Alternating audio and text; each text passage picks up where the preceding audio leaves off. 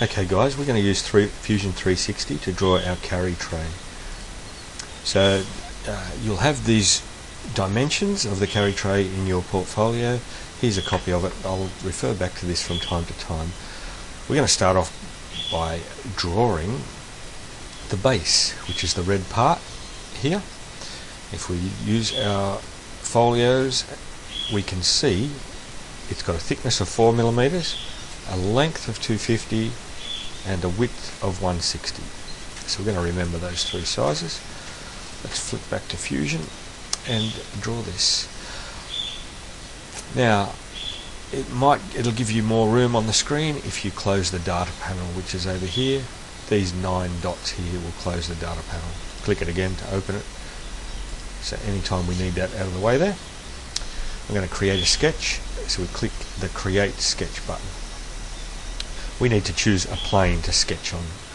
So one of these three planes, we're going to choose the base plane, not the side planes yet. We'll just simply choose the base plane. Click once. And then we're going to choose the rectangle tool. The rectangle tool is up here. It should be on the toolbar. If it's not, click the down arrow under sketch and you'll see it there. It's a two point rectangle.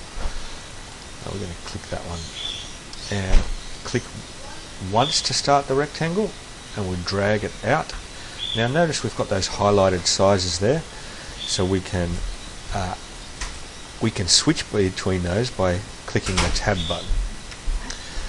So we first of all need 250 long so we simply type 250. I'm going to press tab it'll switch to the next dimension this one should be 160 it'll adjust on the fly as you go and I can press enter.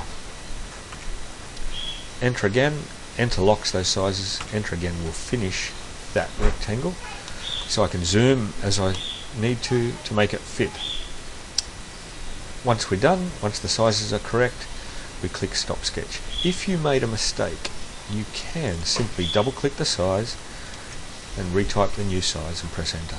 And you can do that on both of those. Let's for now click stop sketch and we're going to extrude. The extrude button is here, should be on the toolbar. Again, if it's not, it'll be down in the menu. Notice some of these menu items have letters next to them. So that means I could use the letter E on the keyboard, save me going through the menus to look for it. As you get more familiar with the program, that'll become a quick way of choosing the command. For now, let's extrude. So it's asking us, which profile do you want to extrude? So we are going to we want to choose the profile that sketch that we just drew. Click. That's selected. That you can see that here one selected. If we selected the wrong thing we can cancel it with the X but that's the one we want. And we can adjust this up or down as we need to and we type in our size or we could type in our size the highlighted there so we could either press enter now or press the OK here. So I'll click OK and there's our base. Actually I think I've made a mistake. That's too big. If you make a mistake it's very easy to edit. We've got a timeline down here, down the bottom corner and uh, I can simply double click one of these items to edit whatever's on the timeline. So that was our sketch, that was the first thing we did. If I needed to edit the sketch, I would double click. We need to edit this extrusion, so I'll double click. Ah, yeah, that should have been 4, not 12. So I'll simply type 4. It adjusts. I can press enter or hit OK.